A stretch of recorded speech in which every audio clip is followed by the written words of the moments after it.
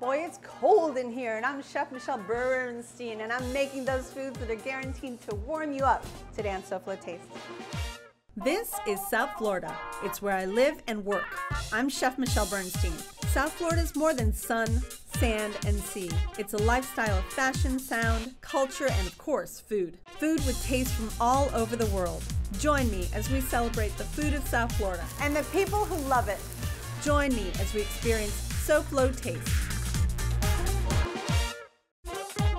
Welcome all. Welcome to our kitchen here at JA World in Coconut Creek and welcome to SoFlo Taste. I'm Chef Michelle Bernstein. Now, we here in SoFlo may not have the winters of, say, Coldfoot, Alaska, or North Pole, New York, or even Zero, Montana, but we can still enjoy foods that are best eaten when it's cold outside. So today I thought it would be fun chilling with the winter's food. So let's get cooking. I thought the first thing we could do is a nice green juice. And we're not going super green here. We're going with some of my favorite flavors all combined in a juice. So I've given you an array of for me, what are bright colors and flavors to give you a really nice balanced juice so that everybody could drink this juice. So I'm gonna go ahead and juice carrots. And by the way, you don't peel anything, okay? Just leave the peel on. Beets, celery, the one that most people like the least, but you'd never know was even in there. But it's so good, it aids in digestion, it's great for you. And a little piece of ginger, of course some apple, because this is really what makes it taste delicious for me. And a little trick that I actually learned was that if your stuff ever gets stuck in that juicer, just whoops, just throw uh, an ice cube or two in there. And somehow it helps push everything right along. So there we have it.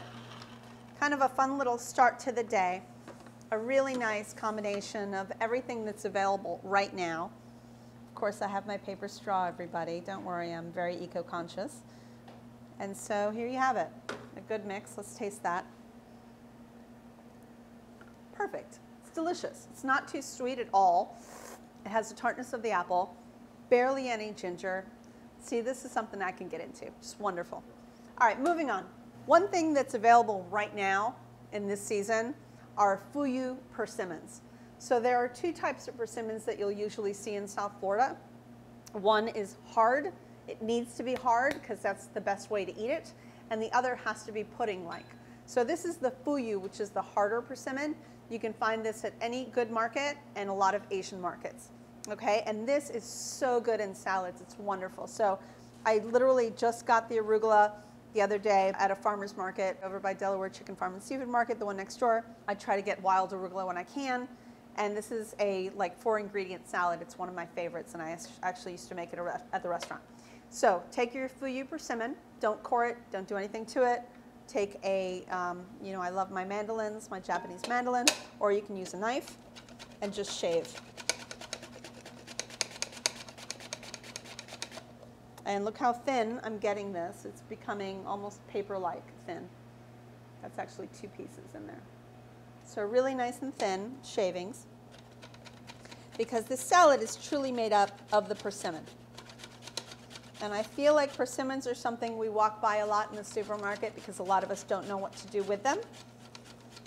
But this is just such a great starting point to use a persimmon which by the way is very, very readily available in this time of year. Okay, so I got a lot of shaved persimmon. We'll take some of this delicious arugula, which you want to rinse and dry because it always has a little bit of sand. This is mainly a persimmon salad using a little bit of the arugula to kind of use as kind of a vehicle to hold it. Then I'm going to add a little bit of some freshly um, shaved Parmesan cheese. This is Reggiano. Trust me, all these, this combination is just the best. It's delicious. This is one of the favorite salads I've ever served in a restaurant. Lemon vinaigrette. Juice, one, oil, four. So four to one extra virgin oil to fresh lemon juice. That's all that's in here.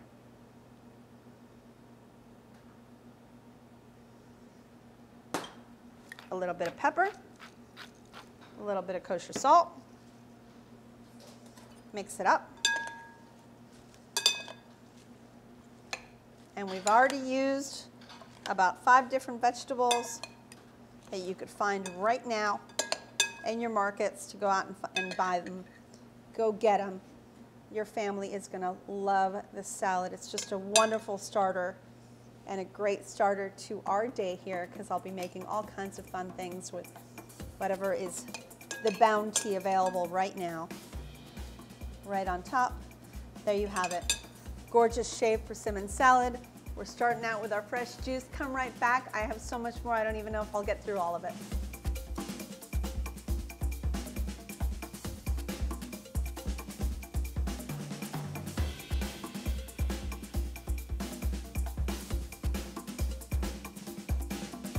SoFlo Taste will return right after this.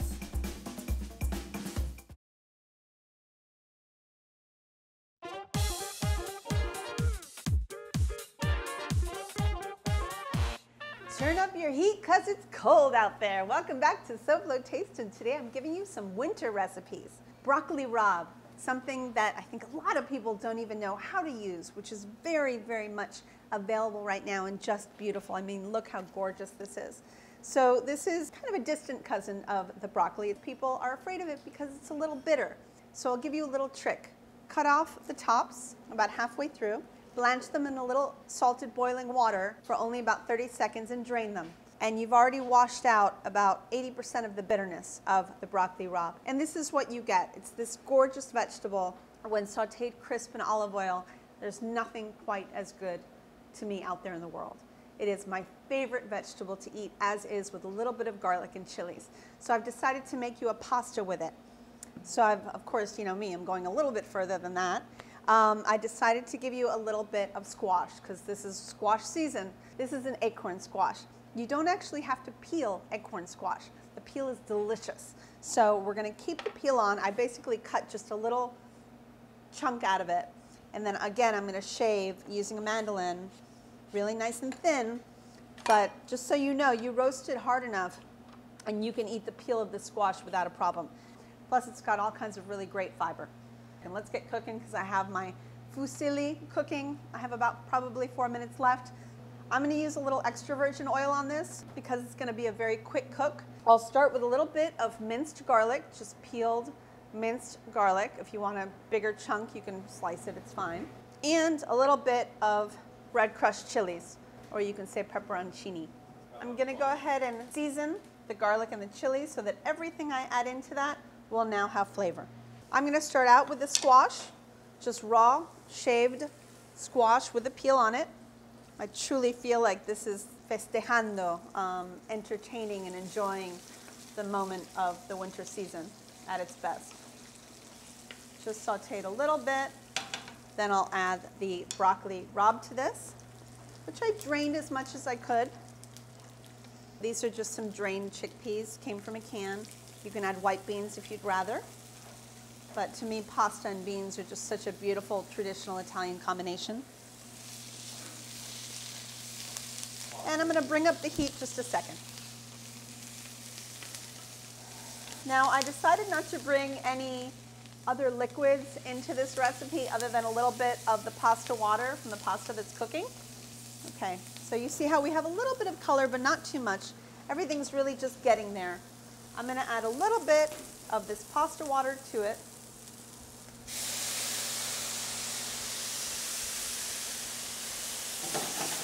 And I know it's a little funky, but I thought with the chilies, a little sweet and a little tart might be a really beautiful balance. So I'm going to add the tiniest bit of honey.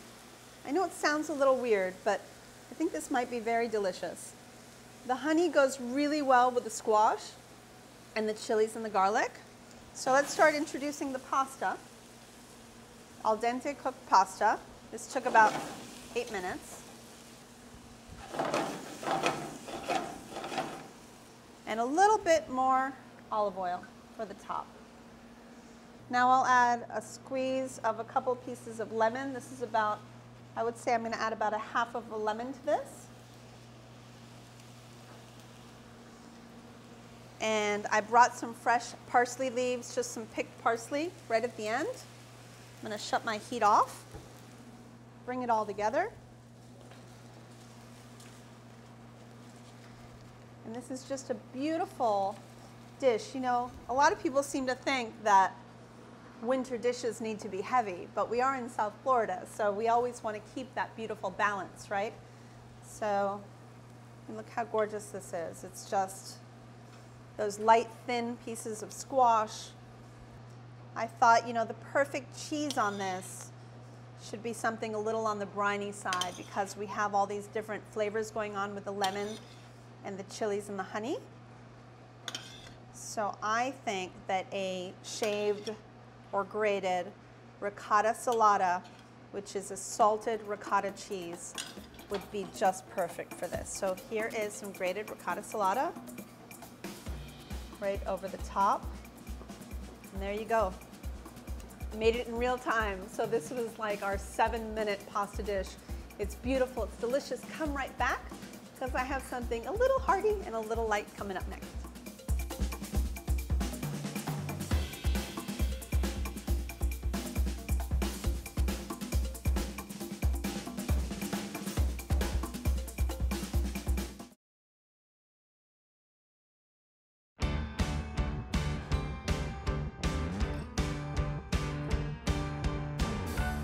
Calling all SoFlo bakers, WPLG and the Arsht Center are looking for the most delicious, creative, and uniquely named pie inspired by the hit musical Waitress, playing at the Arsht Center from February 26th through March 3rd. The winner will get Waitress opening night dinner and tickets for four and more. So log on to the local10.com's contest page to enter and for details. Good luck.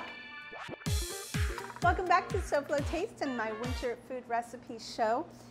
So lastly, I don't know, I always think of pork in the winter, so I wanted to make you my favorite pork chops that I've been making lately. To go with it, a delicious slaw made of a lot of winter vegetables that we have around right now. So this is a kohlrabi. It is a vegetable used a lot in Asian recipes and it can be pickled, it can be eaten raw, it can be cooked. I'm going to be using it in the slaw. It's a really great crunchy vegetable and it holds up really well. It's kind of like a chayote, but even more dense, if that's even possible.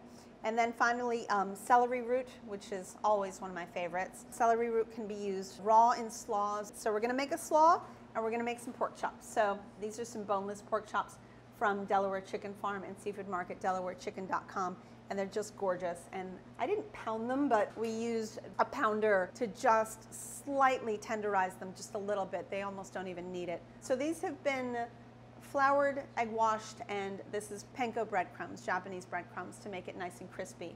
And I'm gonna finish it with a little bit of compound butter, which I've given you the recipe before. All my recipes are always on SoFloTaste.com, but this one is just a little bit of garlic and parsley and butter. So we're gonna finish the pork with a little bit of this butter.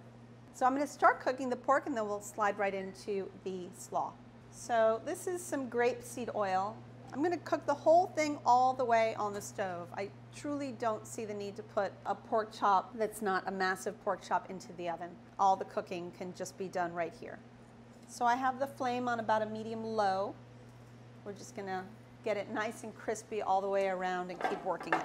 For all my great vegetables, the kohlrabi, you basically take a paring knife to it and you peel around it until you get to this very light colored interior. And we're gonna go ahead and cut that down, maybe in half. And then we'll cut that on a, I brought again a mandolin. I love Japanese mandolins. And this one I'm using uh, the teeth. So if you can see on the inside, it comes with these little, what I call teeth, to make julienne pieces. Let's not forget about our pork. Just make sure we're flipping it every once in a while. We lower the heat a little bit more to make sure we cook all the way through. All right, so we want some nice julienne pieces of the kohlrabi, which you can do with a knife or you can do it with a mandolin.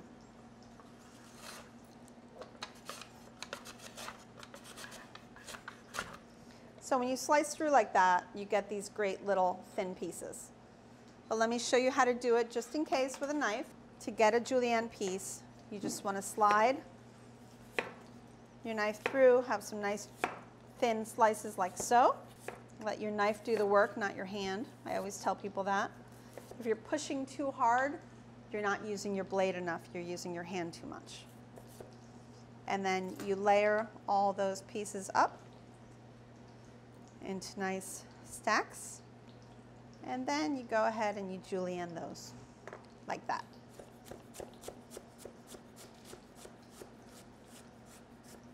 So then you have these nice little thin slices that are perfect for any kind of a slaw. So I'm going to put that into my bowl. I also thought some grated carrots would be delicious. So those are just done on a box grater. Get some of those in there. All right, so for the celery root, you can do the same thing. You can use the mandolin if you want to, or you can use a knife.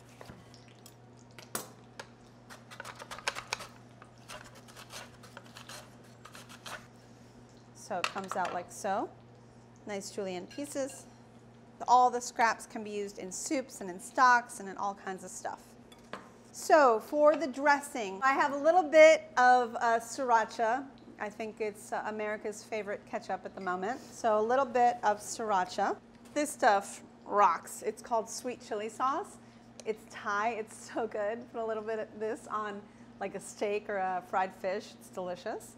Um, so this is our sweet element. Does have chilies in it, okay, so beware, but it's not that spicy. A little bit of rice wine vinegar is our acid, and then a little bit of sesame oil is the fat. So go ahead and make that mix. Make sure you taste it before you toss in all those vegetables that you worked hard on cutting. Add a little bit of salt to it. I think I'm good. All right, let's check our pork chop. And we are absolutely almost there. So to make the slaw, go ahead and get some, it's actually mixed parsley and cilantro. Just basically take it to a knife for just a second. Add a little freshness in that. I've got some sliced up scallions as well, and then all these great vegetables. So let's mix everything together. Like that. Finally, a little bit of grated ginger, and microplane the ginger right over it.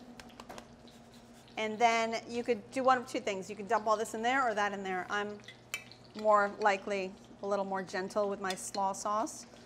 So add what you think would be enough and mix.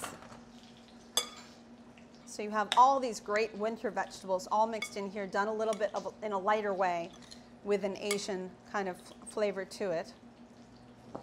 Delicious. So our pork chops are cooked through. What you're going to want to do now to finish them, you're going to take a little bit of the oil, almost all of the oil out. So take a little pot or a little bowl nearby. Let's go ahead and pour the oil out of it.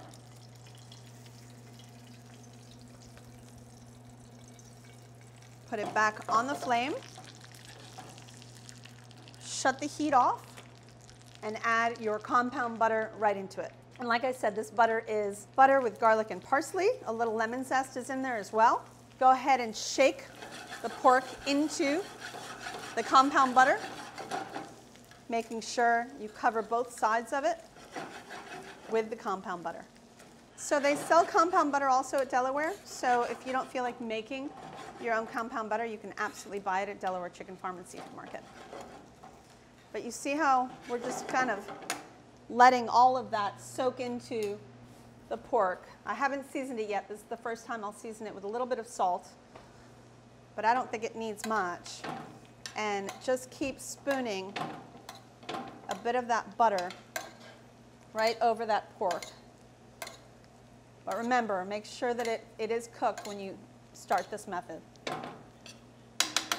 And there you have it. So let's put all this together. So we've got our pork chops. Like so.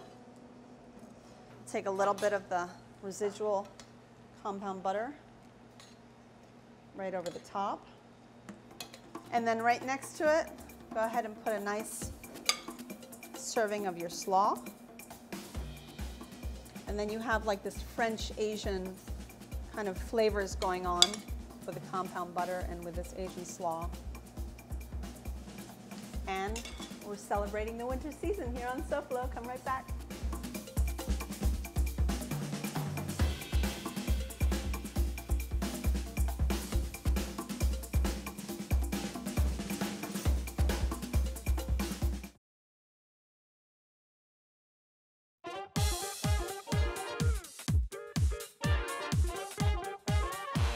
I hope that those winter foods warm the cockles of your heart and every other part of you. Try these recipes the next time the SoFlo thermometer drops below 60. However, these recipes are good at any temperature.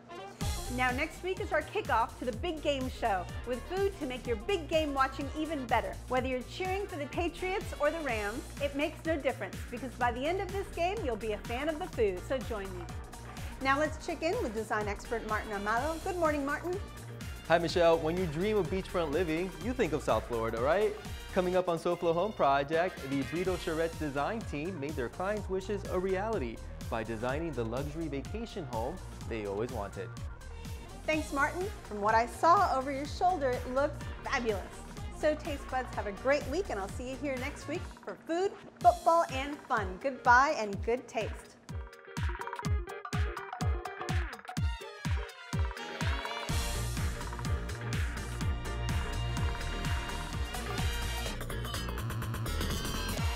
Just chillin'.